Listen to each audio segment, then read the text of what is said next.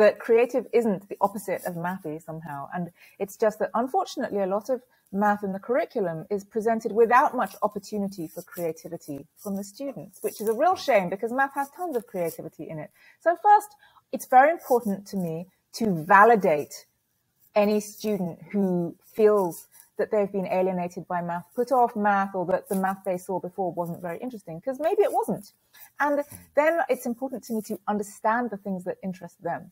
And for my art students, it's often creativity, being able to have some input, and also having making it relate to the issues in the world that they care about.